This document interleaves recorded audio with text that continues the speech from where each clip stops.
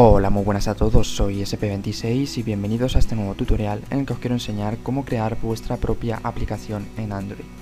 No hace falta que sepáis programar, ni que sepáis ningún lenguaje de programación ni nada de eso. Lo único que vamos a hacer será utilizar esta página web, la cual dejaré en la descripción del vídeo. Y bueno, mediante un entorno gráfico el cual eh, tenemos a nuestra disposición, vamos a poder crear una excelente aplicación, la cual pues eh, yo creo que va a ser bastante útil para aquellas personas pues que tengan una página web o un canal de YouTube, ya que bueno, pues a sus suscriptores, usuarios o gente que les siguen eh, van a poder pues ver todo lo que hagan, ¿vale? Todos los vídeos que suban, todas las eh, páginas que publiquen o, o, bueno, nuevas entradas que publiquen en un blog, lo van a poder ver de una forma bastante rápida desde su teléfono móvil y bueno, para la gente que sea seguidores de ciertas personas, pues creo que es una herramienta eh, que es bastante pues útil y que os puede ayudar a bastantes personas, ¿no?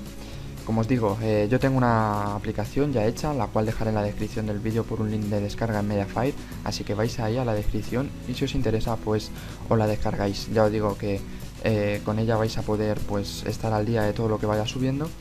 Y nada gente, vamos a por el tutorial que es lo que realmente os interesa y vamos a por ello. Como veis eh, la página web se llama appjet, ¿vale? Como he dicho la dejaré en la descripción del vídeo os vais a tener que registrar en ella, ¿vale? Es muy sencillo, simplemente son dos o tres pasos y bueno, luego os mandarán lo que es un, mensaje a, vuestro correo, ¿vale? En el que, bueno, pues tenéis que activarlo y demás, ¿vale? Es todo muy sencillo, no creo que tengáis ninguna pérdida, así que ese paso me lo voy a saltar. Vamos a lo que es crear la aplicación, nos vamos a ir aquí a Create App, ¿vale? hacemos clic aquí y aquí tendríamos lo que es el nombre de aplicación. Como podéis estar viendo en pantalla, la aplicación se vería de la siguiente manera que tenemos aquí a nuestro lado derecho eh, de esta pequeña ventana, ¿de acuerdo? Entonces es de esa manera como vamos a poder visualizar la aplicación. La verdad es que está bastante bien, ¿vale? Vamos a hacer que se llame prueba, por ejemplo, aplicación name. Vamos a ponerle prueba, ¿de acuerdo? Y aquí, eh, bueno, sería la extensión que debemos de ponerle y en template pues podemos elegir entre estos dos, perdonar. Yo suelo elegir el, blank template, no sé por qué, pero bueno, es la verdad que se ajusta más a, mis gustos. Y nada, eh, ya para adelante todo, le damos aquí en crear aplicación, create app, y aquí vamos a lo que, bueno, empieza a ser interesante, ¿no? Eh, tenemos aquí eh, aplicación de nombre prueba, la versión de la aplicación evidentemente, en este caso pues podemos poner la versión que nosotros queramos, pero bueno sí que es conveniente que si eh, vamos a seguir sacando más versiones, pues vayamos anunciándolo, ¿no? En este caso tenemos la versión 1.0 y vamos a dejarlo ahí, ¿de acuerdo? Esto no lo podemos modificar, lo que sí que podemos modificar es el icono. Esto, como comprenderéis, pues es bastante sencillo, simplemente le damos aquí en Change Icon y nosotros pues aquí seleccionamos el archivo. Como veis eh, admite todos estos formatos y tiene que estar en, bueno, te recomiendan que la dimensión sea de unos 96 píxeles por 96 y solo JPG, GIF y PNG, ¿vale? Entre otros que a lo mejor pueden eh, coger algún otro formato que no os pongan ahí, pero bueno, en verdad son los que más utilizamos, el JPG y el PNG, incluso el GIF, pues evidentemente yo creo que eh, no sería el formato adecuado para, para, poner un icono, entonces ya os digo, recomiendo eh, JPG y PNG, ¿de acuerdo? Y luego pues es muy fácil, simplemente seleccionamos archivo y se sube, ¿vale? Muy fácil, le damos seleccionamos, cogemos el archivo y le damos en abrir y ya tendríamos el icono, ¿de acuerdo? Bueno, aquí tenemos el contenido para quien está destinado esta aplicación, ¿vale? Entonces, evidentemente, tenemos para personas muy adultas, de mediana edad, pequeñas y eh, para todos los públicos. En este caso vamos a ponerlo para todos los públicos, perdonad. Vamos a darle a guardar cambios, 6cam y le damos en eh, módulos. ¿vale? Módulos. Esto es la parte más importante, ¿vale? Y en la cual pues nosotros vamos a tocar bastantes cosas. Eh, como os digo, yo por ejemplo, todas estas cosas, noticias de última hora, eh, favoritos de última hora, todo eso yo en mi aplicación no lo tengo, lo he quitado, ¿de acuerdo? Realmente no me, no me gusta esas cosas porque realmente si voy a hacer una aplicación que esté relacionada con mi canal, pues no quiero que tenga esas cosas, las últimas noticias del día o eh, últimas noticias de tal periódico. Para eso pues ya te vas al periódico en cuestión que te pone esas noticias, ¿no? Eh, entonces lo que voy a hacer es borrar estas. Vosotros podéis dejarlas, ya os digo, estos son noticias y historias que queráis meter vosotros a vuestra aplicación. Pero yo quiero borrarlas, ¿vale? Entonces le damos aquí en detalles, como habéis podido ver, y le damos aquí en delete this module, ¿vale? Entonces le damos en aceptar.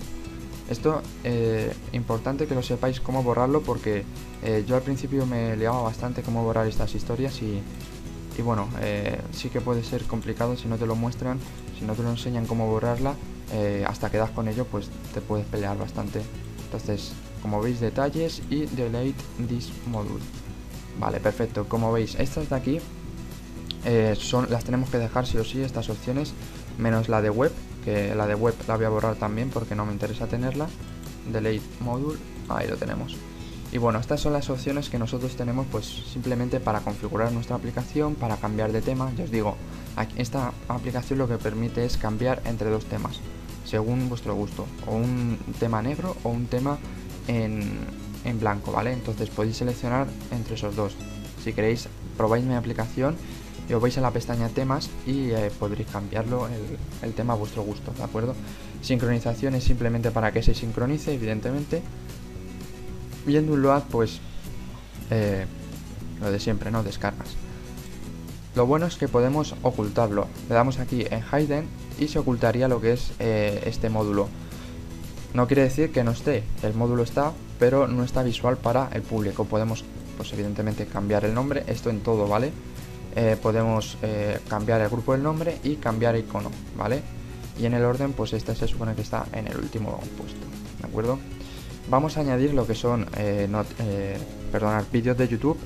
entonces le damos aquí en Feed YouTube, ¿vale? Entonces escribimos, por ejemplo, el, el nombre de mi canal, SP26, ¿de acuerdo? Ahí lo tenemos. otra vez SP26, ¿vale? Ahí, perfecto. Y eh, vamos a poner SP26 eh, último vídeo. Últimos vídeos, ¿vale? Perfecto. En el orden eso da igual, luego lo podemos modificar como nosotros queramos. Y le vamos a dar YouTube User ID. Entonces escribimos el nombre de nuestro canal, ahí lo tenemos, Super Prototype 26. Y le damos en eh, Save Scan, ¿vale? Que es guardar cambios, evidentemente. Ahí lo tenemos. Estas son diferentes opciones que podemos ir configurando, como puede ser el tamaño de la imagen, eh, los artículos que podemos eh, introducir. En este caso pues, tenemos un límite de 200, pero podemos ampliarlos hasta los 1000, ¿de acuerdo? Ya los 2000 son la versión de pago. Pero bueno, yo creo que como van a ser últimos vídeos, tampoco es, mm, pues yo creo que con 200 últimos vídeos que haya, yo creo que van de, de sobra, ¿no? se van a aparecer siempre los 200 últimos vídeos que tú vayas subiendo. Entonces, pues yo creo que está bastante bien. Lo demás eh, lo dejamos como está y le damos en Update, ¿vale? Bueno, ahí ya lo tendríamos. Vamos a irnos aquí a Back to Model. Como veis, nos pone el feed, ¿vale? Como si fuera pues este iconito, el cual pues eh, lo podemos cambiar evidentemente. Le damos aquí en Change Icon y le damos en seleccionar archivo, seleccionaremos el icono que nosotros pues queramos. Como veis aquí eh, nos ponen las proporciones recomendadas que son 72 píxeles por 72 píxeles y evidentemente los mismos formatos que antes, solo JPG, GIF y PNG, ¿vale? Eh, como os digo, también podemos seleccionar entre leads y GIRT.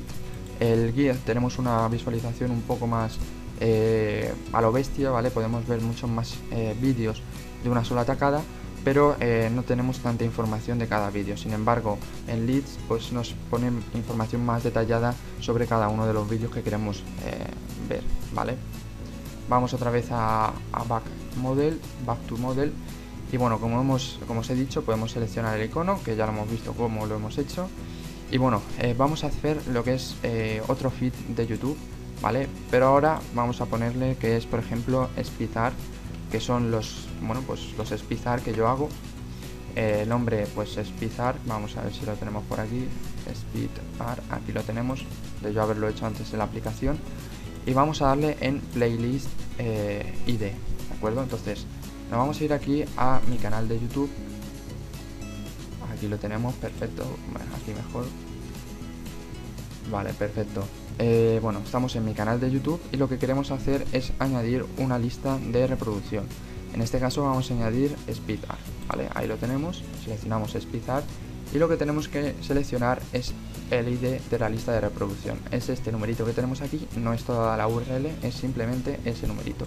Le damos en copiar y y bueno, pues lo pegamos evidentemente. Ahí lo tenemos y le damos en Saves para guardar los cambios y aquí le damos en update para eh, pues, tenerlo todo en orden, ¿de acuerdo? Vamos a irnos a Back to Model de nuevo y bueno, ya tenemos eh, Spizar y SP26 últimos vídeos. Si queremos eh, bajar distintos módulos para que uno esté encima de otro o bueno, tener el orden como nosotros queramos, simplemente lo que tenemos que hacer es subir el feed de últimos vídeos hacia arriba. Y como veis se cambia hacia arriba el feed de últimos vídeos. Bastante sencillo, simplemente podemos ir jugando con las distintas flechitas, ¿vale? Aquí tenemos que podemos tener unos 30 módulos en cada página y tenemos una página, ¿de acuerdo? y tenemos un total de 6 eh, pues, módulos, ¿vale? Luego pues podemos introducir eh, Blogger, WordPress, Facebook y demás historias. Facebook es bastante sencillo, es como lo otro, eh, la verdad está todo bastante detallado y bastante fácil de hacer. Vamos a introducir por ejemplo Facebook, ponemos Facebook SP26, Facebook, así simplemente para hacerlo rápido. Vamos a copiarlo y lo pegamos aquí, de nuevo, pegar, y eh, número de ID de Facebook, pues para encontrarlo nos pone este, este botoncito aquí por si alguien se pierde, ¿no? Entonces aquí tenemos que escribir eh, la URL, ¿vale? De nuestro Facebook personal, que bueno, el caso pues es eh, el nombre de tu Facebook, yo no voy a entrar porque bueno, tendría que enseñar mi correo y demás, pero el caso es que ponemos ahí la URL de nuestro Facebook con nuestro usuario de nombre que viene ahí al final y le damos en Look app eh, numeric id, ¿vale? Y entonces nos encuentra el número. Ese número lo cogemos y lo copiamos y lo situamos aquí. Una vez hecho eso, guardamos los cambios y ya lo tendríamos, ¿vale? Como veis, bastante sencillo y yo creo que esta aplicación pues eh, funciona bastante bien y resuelve pues eh, todas aquellas dudas de aquellas personas que querían tener una aplicación en Android para simplemente pues que la gente estuviera al día de lo que van subiendo y de que bueno pues les sigan un poco más y estén un poco más eh, al corriente de lo que tú vayas haciendo ¿no? Podemos introducir también Instagram, Flickr, Blogger, bueno, de todo. Podemos introducir de todo, excepto Twitter, que no encuentro la manera de introducirlo. Ya os lo digo, si, la encuentro, haré un vídeo diciendo cómo poner Twitter, pero bueno, en principio no la encuentro, ¿vale? Luego tenemos diferentes opciones aquí en Setting, que evidentemente son los ajustes, pero esto ya os digo, eh, lo dejo por defecto ya que eh, son las configuraciones correctas para que funcionen todos los smartphones, ¿vale? En temes, pues aquí podemos seleccionar entre el tema blanco y negro que estaba comentando antes, pero bueno, vamos a dejarle los dos para que la gente pues pueda decidir entre ambos, ¿vale? Ya os digo que solo podréis cambiar vosotros en eh, temas cuando estéis en la aplicación monetización, perdonar, esto tiene que ser ya con la versión Pro, ¿vale?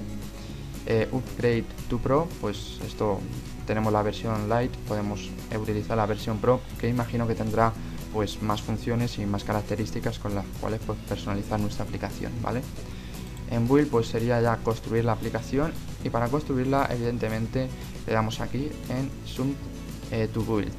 Eh, ¿Qué hace esto? Cuando construimos nuestra aplicación lo que va a hacer es eh, va a tardar unos instantes, ¿vale? Va a tardar un par de minutos y cuando haya finalizado lo que va a hacer es mandarte un email a tu correo, ¿vale? Un mensaje a tu correo con la información detallada acerca de tu aplicación. Es decir, te va a mandar un, link para que la puedas subir a, Google Play. Eso evidentemente te cuesta dinero, me parece que son 25 euros lo que tienes que pagar por subirlo a Google Play.